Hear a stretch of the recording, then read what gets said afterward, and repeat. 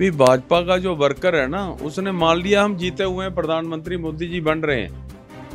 तो इसलिए थोड़ा सा ओवर कॉन्फिडेंस से भी ये काम हो जाता है कई बार। तो ये होना नहीं चाहिए, हमें मेहनत करनी चाहिए लास्ट मिनट तक। हमारी सीटें पहले 200 बुंजा थी 275 होगी, फिर 304 होगी, इस बार 400 होगी एनडीए की। पहले बात तो मनीष तिवाड़ी जी, जो उनके लीडर हैं ना जी जो 55 साल के युवा लीडर हैं 60 साल वैसे रिटायरमेंट एज है हिंदुस्तान में, वो 55 साल के जो युवा नेता हैं, वो उनका नाम नहीं ले रहे।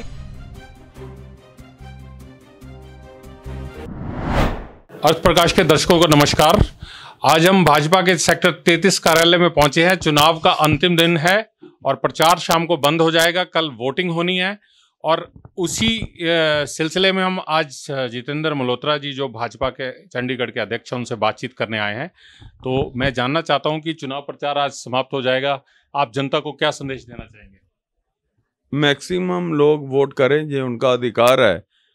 अगर मैक्सिमम लोग वोट करेंगे तो वो एक, उनके मन में जो प्रधानमंत्री चुनने की प्रक्रिया है, वो पूरा कर पाएँगे।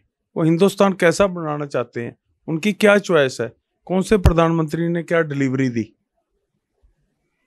ये ही एक ज़रिया ना बताने का।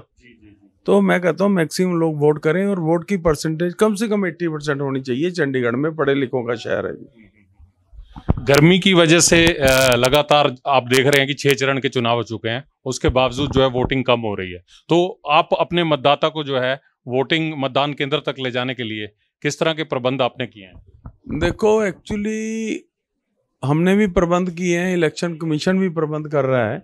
देखो, प्रबंध क्या होते हैं? पानी की व्यवस्था होनी चाहिए, कुछ ठंडे की व्यवस्था होनी चाहिए, कुछ और फैसिलिटी दो चार होनी चाहिए अदरवाइज़ तो कोई ऐसी बात नहीं है। अगर आधा घंटा मतदान करने में लग भी गया तो इतनी बड़ी प्रॉब्लम नहीं होती।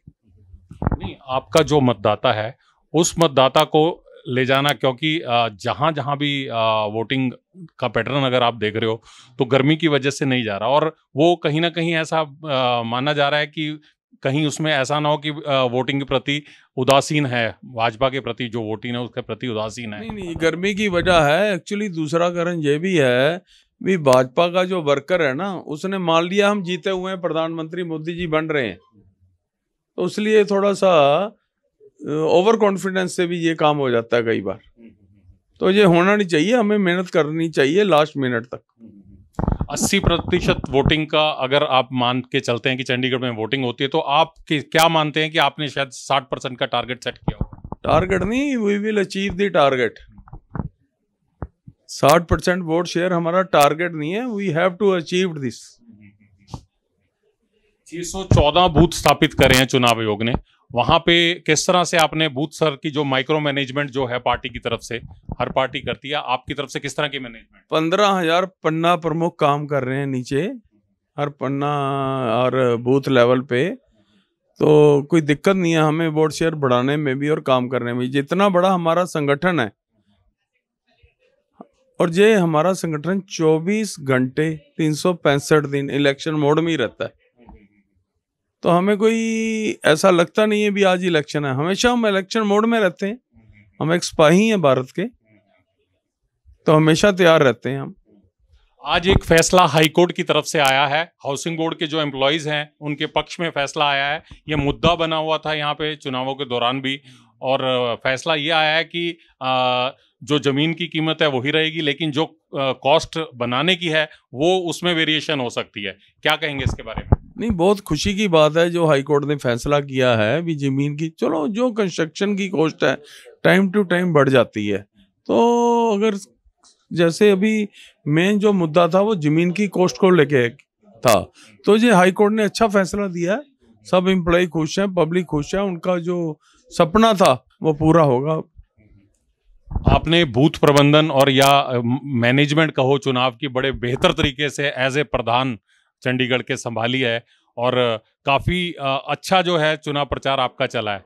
तो अब आपको क्या लगता है कि कितने मार्जिन से आपकी जीत होने जा रही है देख लो साठ परसेंट वोट शेयर हम लेंगे बाकी मार्जिन तो आप निकाल लो एक लाख से ऊपर वोट जो है उससे हम जीतेंगे। क्या माने कि पिछली बार की बजाय जो है इस बार मार्जिन ज़्यादा रहेगा? तो मार्जिन तो हर देखो मार्जिन तो हमेशा बीजेपी का बढ़ता रहता है। हमारी सीटें पहले 200 बुंजा थी 275 होगी फिर 304 होगी इस बार 400 होगी एनडीए की। तो मार्जिन तो कंटिन्यू बढ़ रहा है हमारा।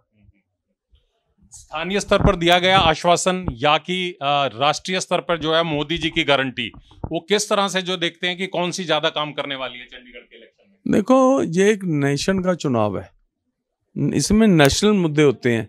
इसमें होते हैं डिफेंस का मुद्दा होता है इंफ्रास्ट्रक्चर ऑफ़ द कंट्री होता है मेडिकल फैसिलिटी होता है पावर का मुद्दा होता है। हमने एक्सपोर्ट किया इस बार हमने डिफेंस में।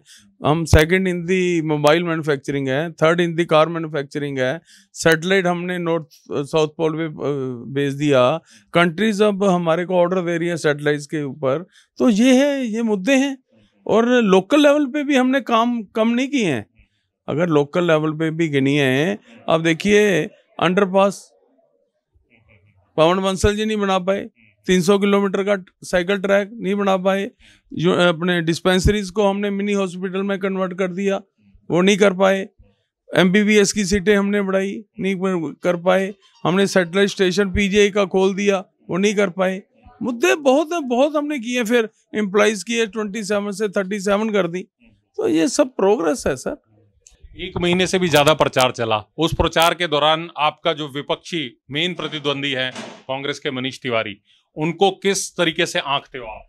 पहले बात तो मनीष तिवाड़ी जी, जो उनके लीडर है ना जी, जो पचपन साल के युवा लीडर हैं, साठ साल वैसे रिटायरमेंट एज है हिंदुस्तान में, वो पचपन साल के जो युवा नेता हैं, वो उनका नाम नहीं ले रहे। मनीष तिवाड़ी जी, अपने युवा नेता का नाम नहीं ले रहे तो वो बताओ उसको लीडर किसको समझ रहे हैं वो?